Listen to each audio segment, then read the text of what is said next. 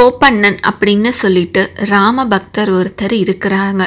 அவங்களும் அவங்களுடைய மனைவியும் சிறந்த ராம பக்தர்கள் அவங்க அடிக்கடி ராமனோட பஜனைகள் பூஜைகள் அவங்களுடைய வீட்டில் செய்வாங்க. அந்த பூஜைக்கு பல பண்டிதர்களும் வந்து கலந்து கொள்ளுவாங்க. அவங்க பூஜை முடிச்சதும் எப்பொழுதுமே பிரசாதம் கொடுத்து தான் எல்லாரையும் அனுப்புவாங்க. அப்படி இருக்கும் பொழுது ஒரு தடவை பூஜைகள் நடக்குது. அந்த பஜனையின் போது பிரசாதம் செய்கிறதுக்காக குப்பண்ணனோட மனைவி சமையலறைக்கு போய் பிரசாதம் செய்ய ஆரம்பிக்கிறாங்க. அவங்களுக்கு ஒன்றரை வயசு குழந்தை. அந்த குழந்தைய சமையலறையோட திட்டில் படுக்க வைக்கிறாங்க. படுக்க வச்சுட்டு அவங்க சமையல் செய்கிறாங்க ஒரு வழியாக பிரசாதம்லாம் செஞ்சு முடிச்சிட்டு எல்லாரையும் போய் கூப்பிடலாம் அப்படின்னு சொல்லிட்டு வெளியே வராங்க. ஆனால் அவங்க வெளியே வரும்போது அந்த பஜனைகளை கேட்க கேட்க அந்த பஜனையில் மூழ்கிடுறாங்க. எதுக்காக வந்தோம் அப்படிங்கிற விஷயத்தையே மறந்துடுறாங்க. அவங்களும் அந்த பஜனையில் போய் பாட ஆரம்பிக்கிறாங்க. பகவானோட தியானத்துக்கு போயிடுறாங்க. அப்போ அந்த குழந்தை என்ன செய்யுது அப்படின்னா தவழ்ந்து கொண்டே பிரசாதம் கிட்ட வருது. பிரசாதம் சூடாக இருக்கு. ஏன்னா அவங்க அப்பா தான் அந்த பிரசாதத்தை செஞ்சு முடிச்சிருக்காங்க. குழந்தைக்கு அது தெரியாதல்லவா உடனே அந்த குழந்தை தடுக்கி அந்த பிரசாதத்தில் விழுந்துடுது. அந்த பிரசாத பாத்திரத்தில் குழந்தை விழுந்தது இவங்களுக்கும் தெரியல. இவங்களும் பஜனையில் மூழ்கிடுறாங்க. கொஞ்ச நேரம் கழித்து கோப்பண்ணன் தன்னுடைய மனைவி கிட்ட சொல்கிறாங்க பிரசாதம் எடுத்துகிட்டு வா எல்லாருக்கும் கொடுக்கணும் அப்படின்னு சொல்லிட்டு.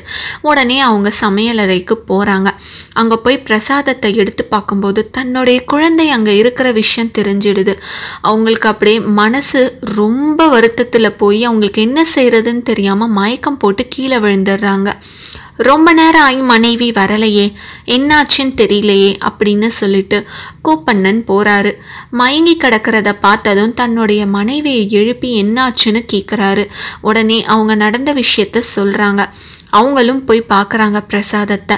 அப்போ குழந்தை இருக்கிறது தெரியுது. இருவருக்கும் என்ன செய்கிறதுன்னு தெரியல. ரெண்டு பேரும் அழ ஆரம்பிச்சிடுறாங்க.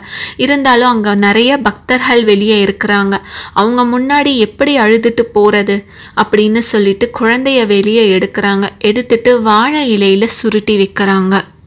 அதுக்கப்புறம் பிரசாதத்தை எடுத்துட்டு போய் எல்லாருக்கும் கொடுக்க ஆரம்பிக்கிறாங்க. அங்கே வந்த நிறையா பண்டிதர்களும் சரி பக்தர்களும் சரி எல்லாரும் உங்களுடைய குழந்தை எங்க குழந்தை எங்க அப்படின்னு சொல்லிட்டு தான் எல்லாரும் கேட்குறாங்க இவங்களும் தன்னுடைய மகன் தூங்கி கொண்டு இருக்கிறான் அப்படின்னு சொல்லிட்டு இவங்களும் சொல்கிறாங்க அப்போ சிறந்த மகா ஞானியான பண்டிதர் ஒருவர் இருக்கிறாங்க. அவங்க இருந்துட்டு பரவாயில்ல உங்களுடைய மகன் தூங்கி கொண்டு இருந்தாலும் பரவாயில்ல குழந்தைய தூக்கிட்டு வாங்க அப்படின்னு சொல்கிறாங்க இவங்க சிறந்த மகா பண்டிதர். இவங்க கிட்ட பொய் சொல்லவும் முடியாது. இவங்க சொல்கிற விஷயத்த மறுக்கவும் கூடாது. அதுவும் தவறு. உடனே இவங்களுக்கு என்ன செய்கிறதுன்னு தெரியல. சரி பரவாயில்ல மகன் எப்படி இருந்தாலும் பரவாயில்ல அப்படியே கொண்டு வந்து இவங்களுக்கு காமிக்கலாம் அப்படின்னு முடிவு எடுத்துடுறாங்க சரின்னு சொல்லிட்டு இவங்களும் அந்த குழந்தைய தூக்கிட்டு வராங்க வெளியே. அப்போ குழந்தைக்கு என்ன நடந்தது அப்படிங்கிற விஷயம் எல்லா பக்தர்களுக்கும் தெரிய வருது. அந்த குழந்தைய அவங்க படுக்க வச்சுட்டு எல்லாரும் சுத்தி நின்னுக்கிறாங்க. அப்போ அந்த மகா ஞானியான பண்டிதர் சொல்றாங்க எல்லாரும் ராமநாமத்தை ஜபம் செய்வோம்.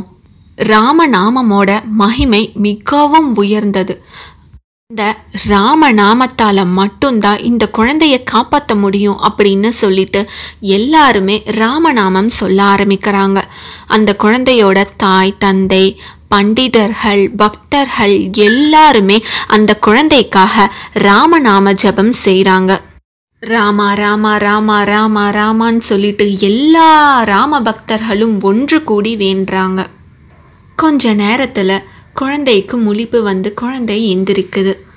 அதை பார்த்ததும் கோப்பண்ணனுக்கும் அவருடைய மனைவிக்கும் ரொம்ப சந்தோஷமாக இருக்குது ரெண்டு பேருமே குழந்தைய தூக்கி கொஞ்ச ஆரம்பிக்கிறாங்க.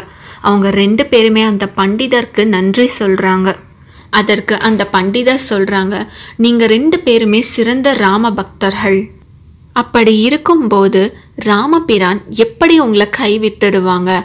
அதுவும் இல்லாமல் நீங்கள் எப்பொழுதுமே ராமநாமத்தை ஜபம் செய்கிறவங்க ராம பஜனைகள் செய்கிறவங்க சிறந்த ராம பக்தர்கள் உங்களுக்கு எப்பொழுதுமே துன்பமே வராது. ராமநாமம் மிகவும் மகத்துவம் வாய்ந்தது.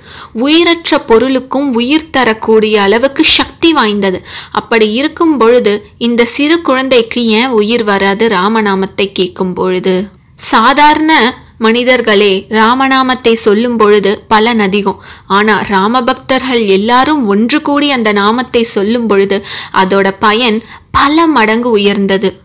ராமபிரான் எப்பொழுதுமே உனக்கு துணையாக இருக்கிறாரு அப்படிங்கிற விஷயம் இப்போ புரியுதா அப்படின்னு சொல்லிட்டு கேட்குறாரு உடனே கோப்பண்ணனுக்கும் அவருடைய மனைவிக்கும் ராமபிரான் எப்பொழுதும் எங்களோடே இருக்கிறாரு. அதற்கு எப்பொழுதுமே நாங்கள் கடமைப்பட்டு இருக்கோம் ராமபிரானுக்கு. எங்களுடைய பக்தி எவ்வளவு உயர்ந்தது அப்படிங்கிறத எங்களுக்கும் இன்னைக்கு தான் தெரிய வந்தது அப்படின்னு சொல்லிட்டு எல்லாருமே சேர்ந்து ராமபிரானை வணங்குறாங்க. அதனால எல்லா நாமங்களை விடவும் மிகவும் சக்தி வாய்ந்தது ராமநாமம். நன்றி வணக்கம்.